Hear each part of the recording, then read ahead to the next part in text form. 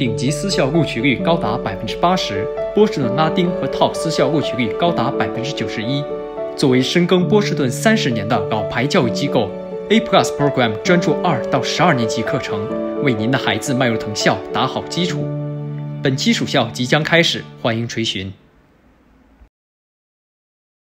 观众朋友，大家好，欢迎收看今天的波士顿新闻。这次新闻的主要内容有。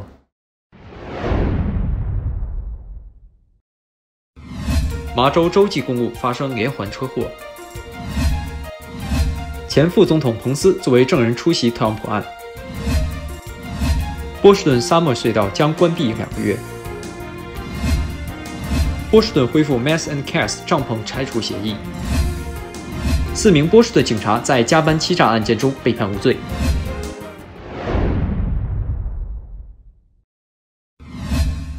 麻州洲际公路发生连环车祸。周四早上，两架医疗直升机降落在麻州洲际公路上，因为一场严重的翻车事故，导致人们被困在他们的车辆中。紧急救援人员在早上六点左右对高速公路的车祸展开了行动，并在草丛中发现了一辆白色轿车。公路上至少四辆车受到了损伤。消防员将受害者从汽车残骸中救出。州警察说，他们受过重伤，但没有生命危险。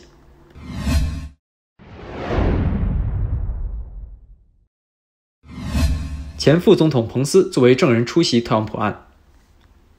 据一位匿名的知情人士透露，前副总统麦克·彭斯周四在联邦大陪审团面前作证。联邦大陪审团正在调查前任总统唐纳德·特朗普及其盟友为推翻2020年总统大选结果所做的努力。彭斯出现在华盛顿的一个大陪审团面前，指证他曾经忠诚服务的总统。这是司法部调查的一个里程碑，并可能为检察官提供2021年1月6日之前前几周的某些对话和事件的关键第一人称叙述。他还具有重大的政治影响，因为彭斯暗示将参加2024年的总统竞选，并可能与共和党的领跑者特朗普进行竞争。我们要遵守法律，我们需要实话。彭斯在周日播出的广播新闻节目中接受采访时说。我一直在告诉全国各地的美国人民，我在回忆录中写下的故事是绝对真实的。我也会在任何需要的时候讲实话。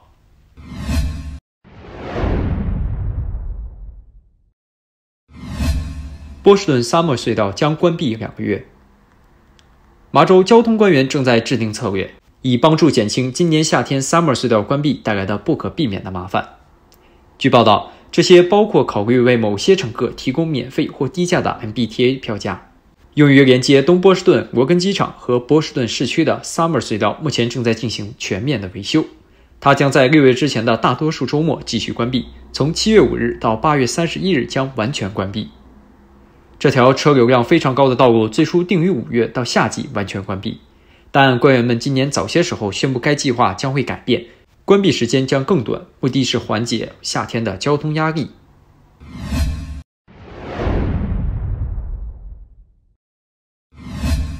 波士顿恢复 Mass and Cast 帐篷拆除协议。波士顿正在恢复其在 Mass and Cast 附近的营地拆除协议，并提醒附近无家可归的人，所有帐篷结构都需要在下周一之前进行拆除。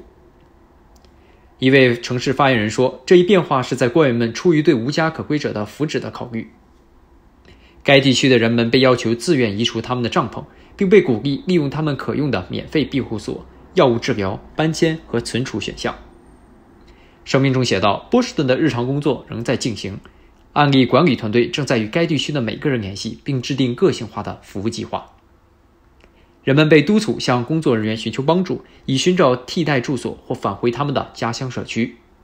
我们是来帮忙的，宣传传单上写道：“我们感谢您在这件事上的合作，并希望您能找到一个更加安全可靠的住所。”波士顿表示，他还推出了一项新协议，以帮助居住在该地区的人们与他们的朋友和家人联系或沟通。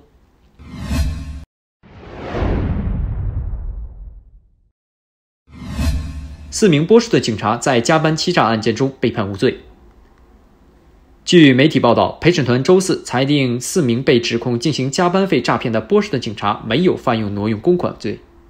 联邦检察官曾指控四位波士顿警察通过提交他们未工作时间的加班表格，从市政机构获取不正当的加班费，从而使他们净赚数千美元。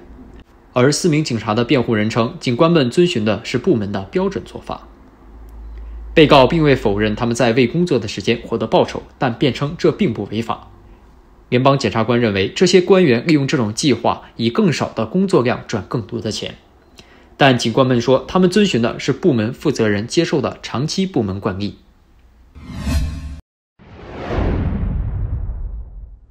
以上是这次新闻的全部内容，感谢您的收看，我们下期节目再见。